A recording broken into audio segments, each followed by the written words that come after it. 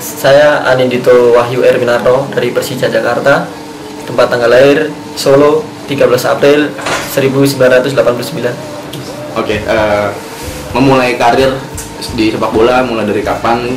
Terus eh, Di mana? Di mana aja sebelum di Persija sampai di sampai sekarang di Persija di musim ini? Sebelum main di Persija, saya memulai karir profesional di Persis Solo 2007-2008. Setelah itu ke Mitra Kukar, tiga tahun di sana dan terakhir di Persija Jakarta. Oke, eh, bagaimana kesan selama bermain di Persija? Kesan mungkin bangga main bersama Persija, tim besar dengan eh, supporter yang besar dan sejarah yang besar dan suatu kebanggaan sendiri bisa berada di dalamnya. Oke, eh, tadi bilangnya supporter besar. Oke, berarti sekarang lanjut ke pertanyaan pendapat eh, seorang Anindito tentang Jakmania itu sendiri gimana?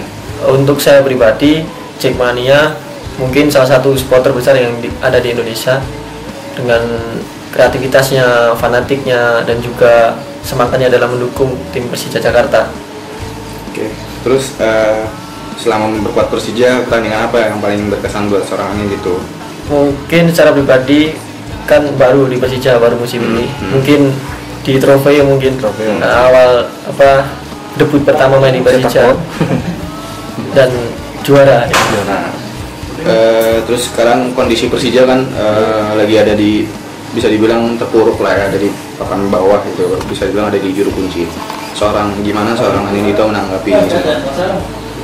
untuk pribadi siapa pun pasti pemain tidak nyaman dalam dalam hati dalam setiap eh, aktivitas kalau memang timnya sedang di bawah semua pasti berusaha pengen bangkit pengen paling tidak buat Persija lebih aman lah Mm-mm.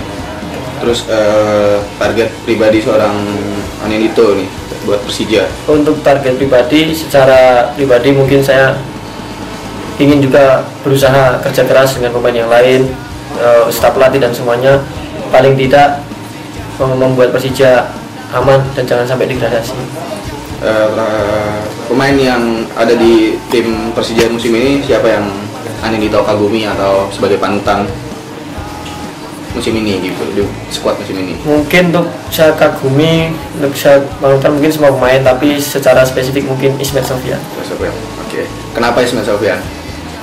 Eh, mungkin karismanya, pengalamannya dan juga bimbingannya dia nggak canggung sama pemain junior dia memberi masukan dan yang pasti contoh yang baik Oke, terakhir eh, pesan buat Jakmania. Eh, untuk Jackmania jangan pernah berhenti mendukung Persija apa pun keadaannya tetap semangat dan selalu Sport. support Persija apa pun keadaannya Oke, sip. Terima kasih.